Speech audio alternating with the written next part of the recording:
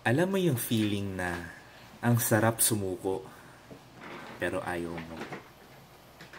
Nakakapagod nga naman talaga yung mundo. Problema dito, problema doon. Pero hindi naman pagsuko yung dapat na sagot, diba? Umikop ka muna ng kape mo. Baka lumamig yan. At siguro, sulitin mo na rin yung oras na yon para huminga. And ask yourself, kamusta ka? Kaya pa ba? Kakayanin. Pahinga ka muna bago sumapak muli sa laban. Basta tatandaan mo lagi, kasama mo